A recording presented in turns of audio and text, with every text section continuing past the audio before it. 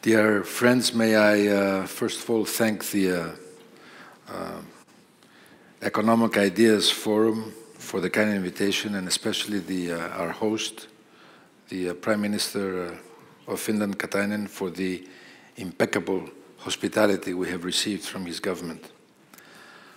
Well, as you know, for the past three years, my country, Greece, has been in the eye of a perfect storm. Uh, we faced major internal problems and serious distortions we had to deal with. Another type of a crisis uh, surfaced uh, simultaneously, a, a, European one, due to the major imbalance we had for a long time, that is a monetary union without a fiscal coordination. And a third crisis, a, a regional one, erupted in our southern neighborhood, wiping out one regime of the Arab world after the other, generating widespread regional instability, sending millions of refugees across the land borders and the seas.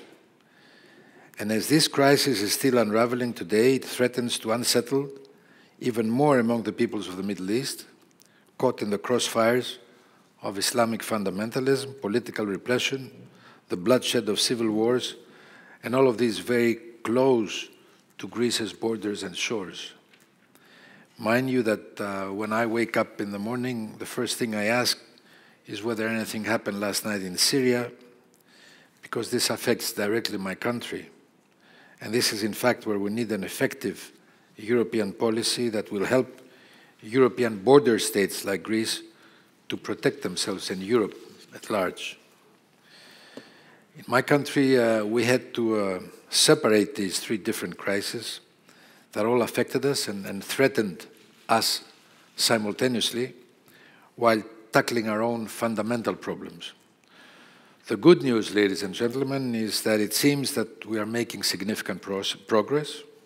We avoided the worst. We have stabilized the country, both politically and financially.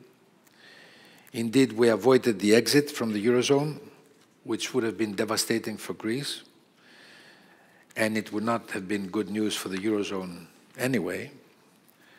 We accomplished the biggest debt restructuring ever with the decisive support of our partners, and this was definitely a sign of strength for the European Union. We managed to conclude in three years more than two-thirds of the necessary fiscal adjustment, eliminating 10 GDP percentage points of deficit, we are projecting a primary surplus for this year, ahead of our targets for the first time. So in just three years, we eliminated our competitiveness gap accumulated in the last 10 years. And we are meeting all our targets in structural reforms, implementation, and privatization projects. The bad news, however, is that the Greek people are still paying a very high price. Above all, a prolonged recession. Greece is currently going through the sixth consecutive year of negative growth, sixth. The accumulated loss was 25% of our GDP. More than 20% of our GDP was lost in the last three years alone.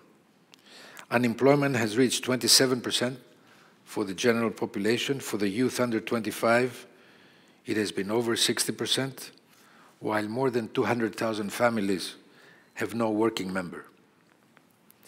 On top of more than uh, 1.5 million of the unemployed, we have a flood of illegal immigrants, about 2 million, flowing through our borders mainly from Northern Africa, as well as from trouble spots in the Middle East and Southern Asia. Still, we made the record progress in a very short time and we paid the record price as a society. But this has been a real nightmare for the Greek people. But I have to tell you that we stood, the Greeks stood their position with dignity. Let me shift uh, our attention to the European challenges. Back in uh, 2010, we did not have a stability mechanism. Now we have one, already dealing with four members of the Eurozone, Greece, Ireland, Portugal, and Cyprus. Back then, we had the monetary union, but we didn't have a fiscal coordination. Now we are taking concrete measures to the effect. six packs, etc. We did not have a banking union. Now we're making significant progress on that front as well. Now, all these issues are on the European agenda. We're in the process of resolving them. But I would like to broaden the scope and the agenda of this discussion by saying that for many years now, a, ghost is hovering over Europe, the ghost of competitiveness. In the year 2000, we were planning to be the most competitive region in the world. Ten years later, by 2010, that was the Lisbon agenda. Now we are in uh, 2013, and competitiveness remains a target we're still missing, like a mirage in the, in the desert. The more we are trying to get near it, the more distant it becomes. It is true, of course, that some member states, mainly in the north, are retaining or improving their competitiveness vis-à-vis the rest of the world. But most of the Union has been losing ground. And what's worse, this competitiveness discrepancy among us is undermining the Union. So to reignite the convergence dynamics in Europe, we need to focus on competitiveness. But what is competitiveness in the first place? Is, it is the ability of an economy or a company to sell international, internationally tradable goods to the world markets at the best prices for the same quality or at the best quality for the same price of goods. Production costs are very important, not only labor costs, all input costs, including energy prices, energy efficiency. Efficiency in general is important, product quality is important, Taxes are highly important. Innovation and investment in the real economy are very important. Even geopolitics are important. So competitiveness is a multidimensional notion. To give just an example, if we reduce labor cost, but other components of the cost increase, then we're not improving competitiveness. And if we manage to bring down the overall production cost, but in the process we discourage investment due to high taxation, then we might improve competitiveness in the short run and lose in the long run. So we must improve our overall competitiveness on all dimensions. Some countries need to work on their unit labor cost, others need to improve their tax rates, some need more market access for their products. There is no one-size-fits-all strategy for all member states. On the other hand, however, there are some aspects that we need to work together. I will just mention the three major ones energy costs, capital flows, and innovation. On these, we can only become competitive if we do it together, if we exploit all the potential that is synergies. It is a vital part, energy cost and energy efficiency. It is a vital part of our overall production cost and competitiveness. We are lagging behind because we are energy thirsty. We have to import a large part of the energy that fuels our economy. And the problem is getting worse since nuclear power is becoming unpopular and the so-called Arab Spring has created uncertainty about many of our traditional suppliers, mainly from Northern Africa. Indeed, we have four problems wrapped up in one. First, we need a long-term program of controlling and eventually reducing the price of energy in Europe. Secondly, we need to reduce our dependence, our dependency from abroad. Thirdly, we need to diversify our resources so that we will not depend too much on a particular source of an energy supply. And fourthly, we have to use the resources available to us in the most efficient manner. So it is not only diversification we should worry about, it is primarily self-sufficiency and efficient networking that will allow us to produce the perfect energy mix at the optimum price and consume it efficiently from one end of the Union to the other. Now, there is a particular angle for Greece in this discussion. Greece has been blessed in three ways. Firstly, it is the paradise of almost all kinds of renewables. It has an extended sunshine potential and a very strong wind potential. So it can very well become the center for development of renewables. Secondly, we are positioned on the southeastern tip of Europe. We rely on the significant transportation routes from one global energy supplier to the European mainland.